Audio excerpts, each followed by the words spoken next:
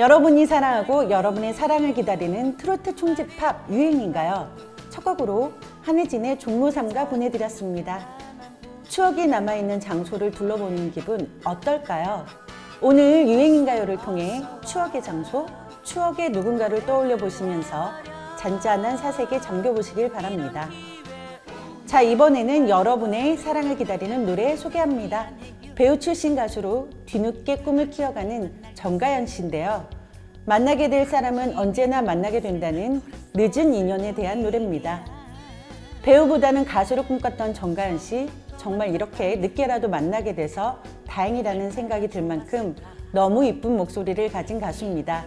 조금은 늦었지만 이렇게 대중과 늦은 인연을 맺게 된 정가연 씨 만나보시죠.